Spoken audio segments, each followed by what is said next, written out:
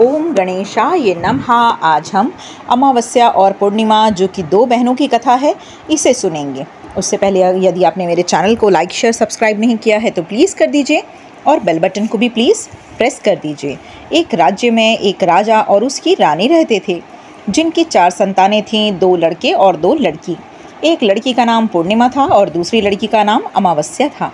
पूर्णिमा घर के कामों में निपुण थी और घर का पूरा काम किया करती थी और साथ ही भगवान की पूजा अर्चना भी किया करती थी। इसके अतिरिक्त वह गौ माता की सेवा भी किया करती थी और उसकी दूसरी बहन अमावस्या ना ही अपने घर का काम काज किया करती थी, ना ही भगवान की पूजा अर्चना किया करती थी और ना ही गौ माता की सेवा किया करती थी। पूर्णिमा सर्वगुण संपन्न थी। फिर भी राजा और रानी अपने दोनों बेटों तथा पुत्री अमावस्या को ही प्यार किया करते थे। और वह पूर्णिमा से प्यार नहीं करते थे। उसके साथ भेदभाव किया करते थे। राजा के चारों पुत्र और पुत्री धीरे धीरे बड़े हो रहे थे। जब वे बड़े हो गए, राजा ने अपने दोनों पुत्रों का विवाह योग्य कन्याओं के साथ कर दिया और इसके बाद रानी ने राजा से कहा कि अब दोनों ही पुत्रियों का विवाह भी योग्य वर के साथ कर दो। इन दोनों का विवाह भी करा दो।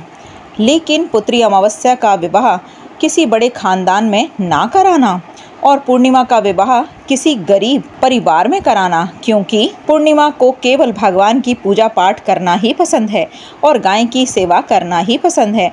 अब रानी ने राजा को दोनों पुत्रियों का रिश्ता तय करने के लिए भेज दिया। राजा ने अपने पड़ोसी राज्य में जाकर वहाँ के राजा के पुत्र से अमावस्या का रिश्ता तय कर दिया और वहीं पास के गाँव में जाकर एक गरीब परिवार के लड़के से पुत्री पूर्णिमा का रिश्ता भी तय कर दिया। यह सारी बात जानकर राजा ने अपनी रानी को बतलाया। तो रानी यह सोचने लगी कि अब देखते हैं कि भगवान इसकी मदद कैसे करते हैं। यह बहुत ही पूजा पाठ करती है। और भगवान में मगन रहती है। पूर्णिमा का भाई और उनकी भाभी पूर्णिमा से बहुत प्यार करते थे। क्योंकि पूर्णिमा उनके घर के कामों में उनका साथ देती थी और कामों में उनका हाथ भी पटाती थी। यहीं उनकी दूसरी बहन अमावस्या उन पर अपना रोप जमाती थी और घर का कोई काम नहीं करती थी। कुछ समय बीत जाने के बाद दोनों पुत्रियों का विवाह हो गया और राजा और रानी के विवाह के बाद अपनी दोनों पुत्रियों को विदाई देते हैं। विदाई देते समय राजा और रानी पुत्री अमावस्या को बहुत सारा धन, दौलत दे, विदा करते हैं और पूर्णिमा को भी कुछ भी नहीं देते। खाली हाथ अपने घर से ही विदा कर देते हैं। इसके बाद दोनों बहनें अपने अपने ससुराल को चली जाती हैं। कुछ दिन बीत जाते हैं और एक दिन अमावस्या और अपने घर पर शिव जी की कथा रखती है, जिसमें वह सभी गाँव वालों को निमंत्रण देती है और अपनी बहन पूर्णिमा को नहीं बुलाती। जब गाँव की सभी औरतें अमावस्या के यहाँ जाती हैं तो वह सब यह दृश्य देखकर पूर्णिमा अपने घर के दरवाजे पर बैठकर यह देख रही होती है। तब वहाँ से गुज़र रही औरतें पूर्णिमा से कहती हैं कि तुम्हारी बहन के घर यहाँ शिव जी की कथा रखी है। क्या तुम नहीं चलोगी? पूर्णिमा ने कहा, मुझे निमंत्रण नहीं आया है। मैं नहीं जा सकती। सभी गाँव की औरतों ने पूर्णिमा से कहा, बुलाया नहीं? तो क्या हुआ? भगवान शिव की कथा है। तुम हमारे साथ चलो। गाँव के सभी औरतों की बात मानकर पूर्णिमा भी उनके साथ भगवान शिव की कथा में अमावस्या के घर चली जाती है। तब अमावस्या की नज़र पूर्णिमा पर पड़ती है। तो वह कहती है कि तुम यहाँ कैसे चली आई? मैंने तो तुम्हें बुलाया ही नहीं था। खैर, कोई बात नहीं। अब तुम आ ही गई हो तो चुपचाप बैठी रहना और यह कहते हुए अमावस्या ने पूर्णिमा की गरीबी का भी मज़ाक उड़ाया। पूर्णिमा की आँखों में आँसू आ गए और रोते रोते मन ही मन में पूर्णिमा भगवान शिव से विनती करती है कि, हे भगवान, क्या पूजा पाठ करना गलत है? गौ माता की सेवा करना गलत है? आखिर मेरी गलती क्या है? आप मुझ पर अपनी कृपा दृष्टि कब बनाएँगे? पूर्णिमा बार बार भगवान शिव से यही कहती रहती। इतने में शिव कथा पूर्ण हो गई और अमावस्या भगवान का प्रसाद बांटने लगी। वह सभी लोगों को प्रसाद देती है। लेकिन पूर्णिमा को वहाँ प्रसाद नहीं देती है और पूर्णिमा बिना प्रसाद लिए ही अपने घर को लौट जाती है। रास्ते में वह ये सोचने लगी कि यदि मेरे बच्चे कथा का प्रसाद मांगेंगे तो उन्हें मैं क्या जवाब दूँगी? उसने सोचा ही था कि उसके अपने मायके, अपने भाई और भौजाई के यहाँ जाएगी और वहाँ जाते समय वहाँ बच्चों के लिए कुछ लेकर जाएगी। ऐसा सोचते हुए वहाँ अपने घर वापस लौट आई और घर वापस लौट कर आने के बाद वह अपने पति और बच्चों से कहती है कि मैं अपने मायके जा रही हूँ। पति ने कहा, ठीक है। और कुछ समय के बाद पूर्णिमा अपने मायके के लिए रवाना हो गई। चलते चलते रास्ते में एक चबूतरा आया। जिस पर तुलसी का पौधा लगा हुआ था, उस चौधरी पर एक बूढ़ी अम्मा बैठी हुई थी। वह कोई और नहीं, साक्षात तुलसी माँ ही थी। उस बूढ़ी माता ने पूर्णिमा से कहा, बिटिया, तुम कौन हो और कहाँ जा रही हो? पूर्णिमा ने अपना परिचय देते हुए कहा। परिचय देने के बाद बूढ़ी औरत ने पूर्णिमा से कहा कि यहाँ तुलसी का पौधा सूख रहा है, इसमें थोड़ा सा पानी डाल दो। और इस चबूतरे की भी साफ़ सफ़ाई कर दो, जिससे मुझे थोड़ी ठंडक मिलेगी। पूर्णिमा ने कहा कि ठीक है माँ, मैं तुलसी में पानी डाल देती हूँ और यहाँ की साफ़ सफ़ाई भी कर देती हूँ। पूर्णिमा ने साफ़ सफ़ाई करने के बाद बूढ़ी अम्मा को भी नहला दिया और बूढ़ी अम्मा की भी सेवा की और उनके पैर दबाए और बूढ़ी अम्मा ने कहा कि, माँ जी, और बताइए कि मैं आपकी कैसे सेवा करूँ? और कोई काम हो तो मुझे बता दीजिए। कर दूँगी, बूढ़ी अम्मा ने कहा कि कुछ नहीं, अब तुम जाओ और वापस आते समय मुझसे मिलते हुए जाना। पूर्णिमा ने बूढ़ी अम्मा से कहा, ठीक है माता जी मैं जाती हूँ। वापस आते वक्त आपसे मिलते हुए ही जाऊँगी। कुछ समय आगे चलने के बाद एक शिव मंदिर आया। वहाँ पर उसने एक बूढ़े बाबा मिले जो कि मंदिर के बाहर बैठे हुए थे।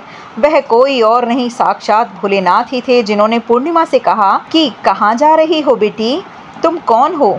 तब पूर्णिमा ने अपना पूरा परिचय दिया और उस बूढ़े बाबा ने पूर्णिमा से कहा, इस चबूतरे की और इस मंदिर की सफ़ाई कर दो। तब पूर्णिमा ने मंदिर की और चबूतरे की सफ़ाई कर दी और वहाँ पर पूजा पाठ अर्चना भी की और साफ़ सफ़ाई पूजा अर्चना करने के बाद उन्होंने बूढ़े बाबा को भी नहला दिया और उसने कहा कि, बाबा, और कोई काम हो तो बतलाइए। तब बूढ़े बाबा ने कहा कि, नहीं बेटी, अब तुम जाओ, वापस आते वक्त मुझसे मिलते हुए जाना। पूर्णिमा ने कहा, ठीक है बाबा, मैं जाती हूँ वापस आते वक्त। आपसे मिलते हुए ही घर को जाऊँगी। आगे चलते चलते कुछ दूरी पर चलने के बाद पूर्णिमा को एक काली जी का मंदिर दिखा। वहाँ भी एक बूढ़ी अम्मा चबूतरे पर ही बैठी हुई थी। उस बूढ़ी औरत ने भी पूर्णिमा से कहा कि, बेटी, तुम कौन हो, कहाँ जा रही हो? तब पूर्णिमा ने उस औरत को भी अपना परिचय दिया और बूढ़ी औरत ने पूर्णिमा से कहा कि यहाँ पर सभी पूजा पाठ करने के लिए आते हैं, लेकिन मंदिर की साफ़ सफ़ाई के करने के लिए कोई नहीं आता। इसीलिए तुम मंदिर की और चबूतरे की साफ़ सफ़ाई कर दो। तो पूर्णिमा ने कहा, ठीक है माता जी पूर्णिमा मंदिर की और चबूतरे की भी साफ़ सफ़ाई कर देती है। बूढ़ी औरत ने पूर्णिमा से कहा कि नदी पर स्नान करने तो सब आ जाते हैं, लेकिन यहाँ की साफ़ सफ़ाई कोई नहीं करता। इसलिए तुम इस किनारे की भी साफ़ सफ़ाई कर दो, पूर्णिमा। तो पूर्णिमा ने कहा, ठीक है माता जी वहाँ की भी साफ़ सफ़ाई मैं कर देती हूँ। उस बूढ़ी अम्मा के पैर दबा देती थी पूर्णिमा और कहती है कि, माँ जी, और कोई काम हो तो बतलाइए। बूढ़ी औरत कहती है कि, कुछ नहीं बेटा, तुम जाओ, लेकिन वापस आते वक्त मुझसे मिलते हुए जाना और वहाँ नाव में बैठकर नदी के किनारे पहुँच जाती है और वहाँ अपने मायके के घर पहुँच जाती है। वहाँ पर पूर्णिमा के भाई और भाभी उसे देखकर बहुत खुश होते हैं और वे पूर्णिमा की बहुत खातिरदारी करते हैं और उसे बहुत सारी बातें करते हैं और कहते हैं कि बच्चों को भी साथ ले आती तो बहुत अच्छा होता। अब कुछ समय के बाद पूर्णिमा ने वापस अपने ससुराल जाने को कहा तो भाई ने उसके लिए एक साड़ी दी और खेलों में बच्चों के लिए कपड़े और खाने पीने की बहुत सी चीज़ें दी और कहा कि तुम बहुत दिनों के बाद आती हो पूर्णिमा की भाभी ने यह थैला पूर्णिमा के हाथ में दे दिया और कहा कि जाओ और जल्दी वापस आना। इसके बाद पूर्णिमा वहाँ से ससुराल के लिए रवाना हो गई और उसी की नदी के किनारे पहुँची और नाव में बैठकर दूसरे किनारे पर उतर गई। वहाँ पर उतरने के बाद वहाँ पर उसने एक बूढ़ी अम्मा मिली जो कि साक्षात गंगा मैया थी और बूढ़ी अम्मा ने पूर्णिमा को एक थैला दिया और कहा कि, इसे तुम अपने घर लेकर ही खोलना। अब पूर्णिमा के पास बहुत पहले ही थैले हो चुके थे।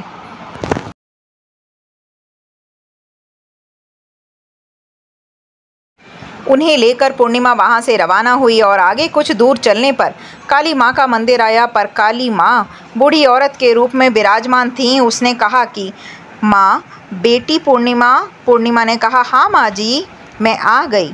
तो काली माँ ने कहा कि उसे एक थैला दिया और कहा कि तुम इस थैले को अपने घर जाकर ही खोलना। अब पूर्णिमा के पास तीन थैले हो गए थे। तीनों थैली। लेकर पूर्णिमा आगे बढ़ी कुछ दूर जाने पर शिवजी का मंदिर आया। वहाँ बूढ़े बाबा के रूप में शिवजी स्वयं भी विराजमान थे। बूढ़े बाबा ने कहा, पूर्णिमा, तुम वापस आ गई हो?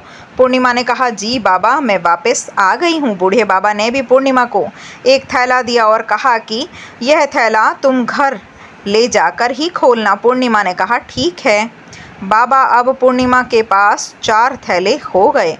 अब पूर्णिमा चार पहले को अब कैसे ले जाती उसने एक पुरानी साड़ी निकाली और उन सभी खेलों का एक गड्ढा बना दिया और उसे सिर पर रख कर वहाँ से रवाना हो गई। कुछ दूर चलने के बाद तुलसी माँ जो बूढ़ी औरत के रूप में मिली थी, उन्होंने कहा कि, पूर्णिमा, तुम आ गई? पूर्णिमा कहती है हाँ माँ जी, मैं आ गई। बूढ़ी औरत ने भी उन्हें एक थैला दे दिया।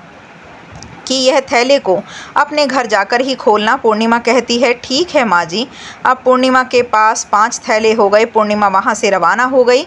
तो वापस घर पहुँच पूर्णिमा के बच्चों को नीचे रखा और सबसे पहले अपने मायके का थैला खोलकर देखने लगी। उसमें बच्चों के लिए अच्छे अच्छे कपड़े खाने पीने की चीज़ें और बहुत कुछ गहने भी थे। पूर्णिमा ने कपड़े अपने बच्चों को दे दिया और खाने पीने की चीज़ों को भी बच्चों को ही दे दिया और यह सब पाकर वे बहुत खुश हुए।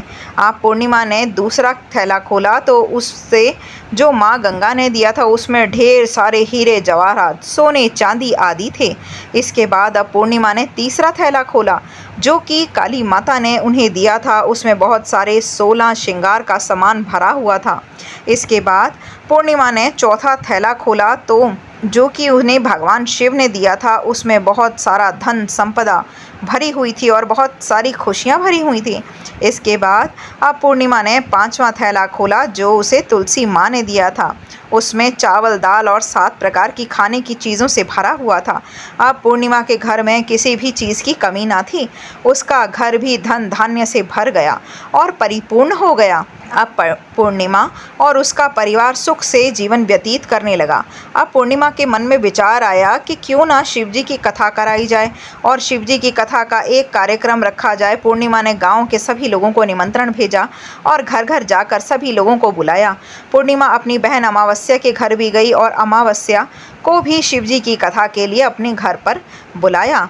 जब अमावस्या, पूर्णिमा के घर शिव जी की कथा में गई तो उसने देखा कि पूर्णिमा के घर में किसी भी चीज़ की कोई कमी ना थी। इतना सारा धन दौलत देखकर अमावस्या आश्चर्यचकित हो गई और उसने पूर्णिमा से कहा कि तुम्हारे घर में इतनी धन दौलत कहाँ से आया? पूर्णिमा ने कहा, देखो बहन, तुमने शिव जी की कथा मैं मुझे नहीं बुलाया था, फिर भी मैं चली आई और तुमने मुझे प्रसाद तक भी नहीं दिया। और मेरी गरीबी का मज़ाक भी उड़ाया। उसके बाद मैं अपने घर आ गई और घर आते हुए मन ही मन सोच रही थी कि मायके जाऊँगी और मैं अपने मायके को चली गई। जो कुछ घटना इस बीच हुई, सभी घटनाएँ अपनी बहन को, अमावस्या को बता दी। तो अमावस्या कहती है कि तुम भी मुझे प्रसाद मत दो, मुझे डांट लो। लेकिन पूर्णिमा ने कहा कि यह तो भगवान का प्रसाद है, मैं तो सबको दूँगी और तुम्हें भी दूँगी। फिर भी अमावस्या ने प्रसाद नहीं लिया और वह सीधे अपने घर को चली गई। घर जाकर अपने बच्चों से कहकर वह भी अपने मायके को जाने को तैयार हो गई। मायके के लिए निकली और उसे भी रास्ते में चलते चलते तुलसी माँ मिली, जो कि चबूतरे पर बूढ़ी औरत के रूप में बैठी थी। बूढ़ी औरत ने अमावस्या से कहा कि, बेटी, तुम कौन हो और कहाँ जा रही हो? अमावस्या ने अपना परिचय देते हुए कहा। बूढ़ी माँ ने कहा कि, बेटी, यह तुलसी का पौधा सूख रहा है। तुम इसमें थोड़ा पानी डालकर इसे सींच दो और इस चबूतरे को भी साफ़ सफ़ाई कर दो। इस पर अमावस्या ने कहा कि, बुढ़िया, तुझे दिखाई नहीं दे रहा है कि मैंने इतनी महँगी साड़ी पहन रखी है। यह गंदी हो जाएगी। ऐसा करके वहाँ से चली गई। उनके जाने पर उसे भगवान शिव का मंदिर मिला, जिसे उसने वैसे ही कहा। उसके बाद आगे जाने पर काली माता का मंदिर मिला, जिससे भी उसने सारी बातें कह सुनाई। आगे जाने पर गंगा मिली जिसे भी उसने यही सब कह दिया और आगे को चली गई। इसके बाद अमावस्या जब नाव में बैठने लगी तो उसे नाव में फूलों की जगह कांटे भरे हुए मिले, जो उसके पैरों में चुभ रहे थे। किनारे पर उतरकर वहाँ अपने मायके चली गई और वह वहाँ से अपने भाई भाभीियों ने देखा उसे तो मन ही मन कहने लगे कि काम की ना काज की, ढाई मन अनाज की। अब आ ही गई है तो ठीक है पूर्णिमा। तो हमारे कामों में हाथ बटाती थी।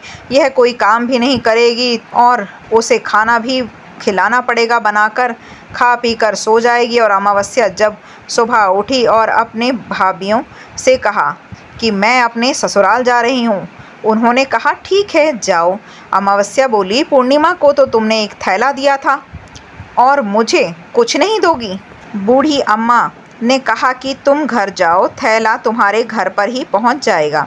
इसके बाद आगे जाने पर उनसे काली माता मिली, जिसने भी अमावस्या को यही कहा कि आगे जाओ और तुम्हें तुम्हारा थैला घर पर मिल जाएगा। और भगवान शिव मिले, जिन्होंने भी अमावस्या से यही बात की। आगे जाने पर तुलसी माँ मिली सभी ने अमावस्या से यही कहा कि तुम घर जाओ, थैला तुम्हारे घर ही पहुँच जाएगा। अमावस्या अपने घर पहुँच गई।